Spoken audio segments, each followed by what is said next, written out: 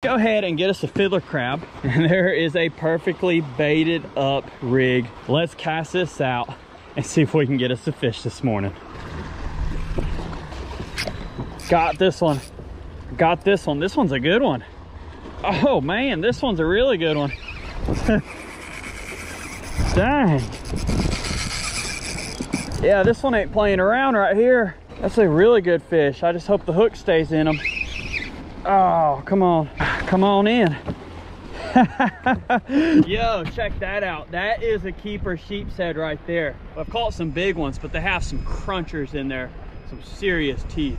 This is in my top favorite fish to eat. They taste delicious. Let's go throw them in the cooler and get another one.